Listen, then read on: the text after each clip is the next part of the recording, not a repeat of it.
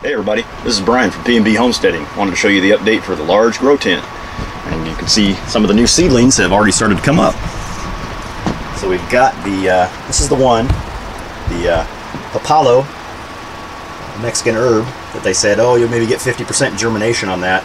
But uh, after just a week, you can see those little guys in there, they're over an inch tall. I'm really happy to see that.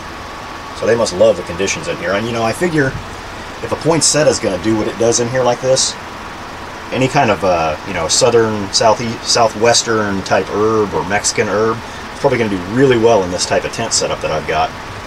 But uh, let's get to the other ones. So we've got the uh, Caribe cilantro. You can see it's sprouted. And we've got some sprouts coming up over here for the uh, other version of the uh, Caribe cilantro.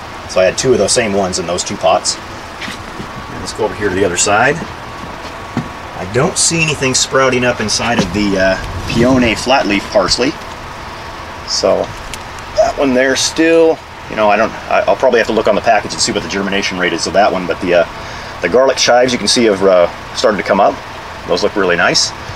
The uh, cinnamon basil is really taken off. I mean, you can just see the amount of sprouts we have in here.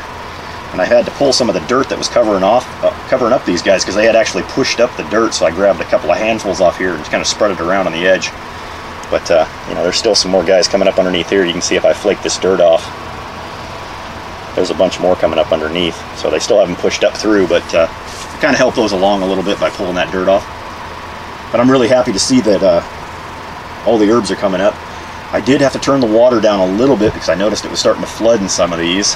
Getting a little bit too much standing water in the bases of uh, a few of these ones that have the double uh, extra nozzles in them. The ones that have an extra single nozzle, they're not getting any water build up down there. So I kind of cut this back. I'm doing it every uh, 45 minutes for two seconds of spray time. So uh, that, that should cut back on the uh, amount of standing water we have. There's a lot of tomato set and uh, red of these tomatoes. Paula came down here this weekend and we picked probably 20 of these uh, indigo rose tomatoes off of all the different plants we have in here. But uh, I've had to start curving over, as you remember last week, I had a bunch that were growing up the side of the tent here and coming up to the ceiling. So I've taken those and I've kind of curved them over the top here and laid them across the cages, so I'm going to let them grow that way.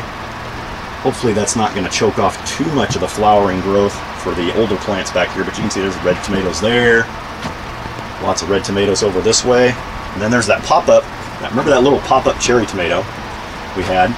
You can see I've got five little red tomatoes. We got two there, three more up here, and it's still growing.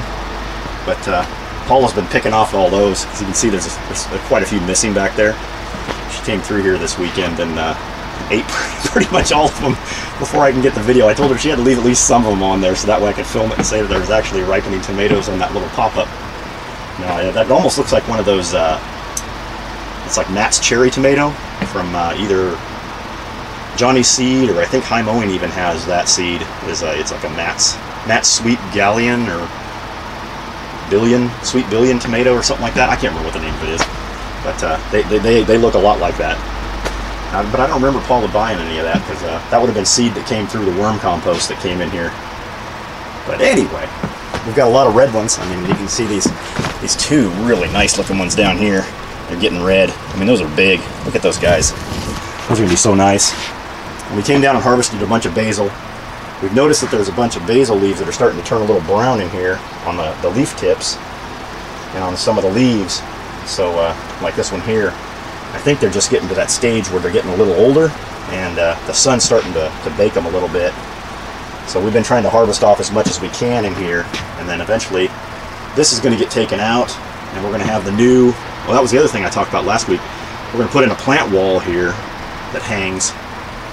And I found something on Amazon. It's around 29 bucks, and it's a vertical grow bag system. It's uh, made out of the same material as like these big pot grow bags here. Well, not pot grow bags, but grow bag pot containers. And I'm going to have that. I'm going to hang that on the wall. I'm going to build a little 2x4 frame for it. And I'll hang that here, and it has, I think, a space for either 18 or 20, like almost one gallon size pots. So then I'll probably take this light, move it up, and I'm going to angle it this way. And I may get another light to hang down a little lower so I can angle it. That way I'll have two lights here angled. And then I can have a vertical wall of plants coming down, and I'll move that fan, of course. But uh, that's going to give me another growing space that I can actually put along that wall that's kind of wasted. And I can put a whole bunch of different herbs in there for Paula. So then we'll have, and then at the base of it, we'll have something like the basil sitting on the floor so that way when the water for the automatic drip system drips in and sprays the spray either spray or drip I haven't determined which one I'm going to do. In those pots the water excess will drip down and go right into the trays down below. And then underneath that I'll probably have some kind of a catchment tray to where uh, actually I could use I've got an extra one of these things. In the other video I had I showed this what I put in the big tent or the small mid-sized tent. So I've got this extra tray that I put into the drip hole. I could actually put this inside that large tent put it right underneath where that basil's at and I can put a catchment you know probably another two gallon pot or something like that or a two gallon drum or I could have it run into a, you know that poinsettia have it watered it'll also be a continuous watering system that'll come down the wall go into the stuff on the trays drip through the trays drain into the poinsettia.